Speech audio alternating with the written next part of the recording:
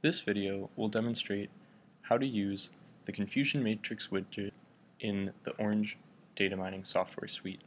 To begin, go to orange.biolab.si and click on the Documentation tab. Here you'll find the widget catalog, and if you scroll down to Evaluate, you'll see the first widget listed is the Confusion Matrix. This is the documentation that we'll follow in this tutorial. The dataset used in this documentation is the IRIS dataset, which took me a while to find, so I'll give the direct link here. If you scroll down to the bottom of this page, at the very center you'll see Download and Other Formats, and you can click the original format link to download the tab file. If you load this file into Orange, you can just locate it on your hard drive and then close out the file widget. This data lists three different varieties of iris flowers, Iris setosa, Iris versicolor, and Iris virginica, which are classified based on their physical characteristics of sepal length, sepal width, petal length, and petal width.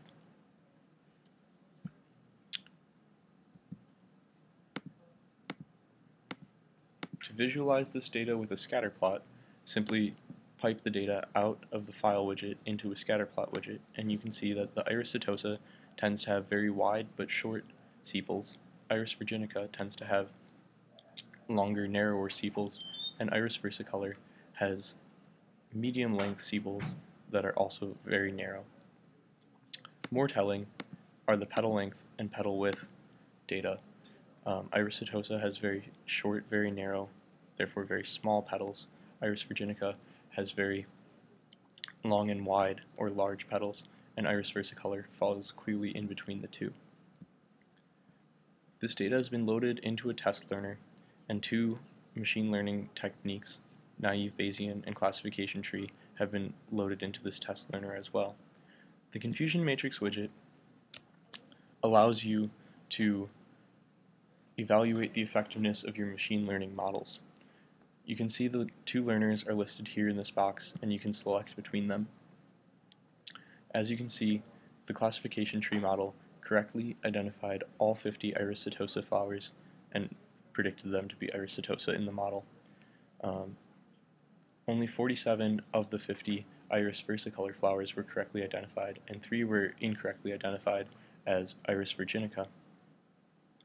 If you'd prefer to view these statistics as percentages, you can look at them as proportions of predicted, which show that 92% of the predicted iris versicolor were truly iris versicolor, and 7.8 of the predicted iris versicolor were iris virginica. And you can tell that by looking at the predictions, which go down in columns, compared to the true classes, which go across in rows. You can alternatively look at them as proportions of true, which show that 94% um, of the uh, true iris versicolors were accurately predicted, but 6% of the true iris versicolors were predicted to be iris virginica. You can select data within these tables. I'll go back to examples because it's easier to look at. Um, and you can select data in these tables manually, and the selected data will be run out the back side of the confusion matrix. Um, there's a selection box over here, which I'll use to select all the misclassified data points.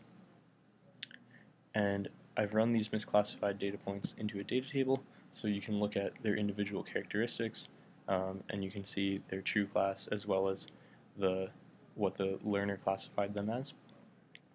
And for an interesting visualization, I've piped both the original data and the misclassified data into a scatter plot.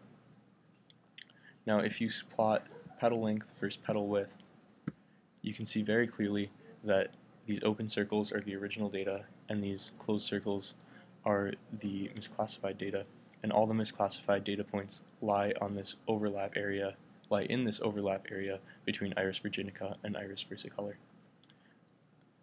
I hope Confusion Matrix helps you in your uh, schema building to evaluate your test learner's effectiveness and hopefully uh, build some very interesting models.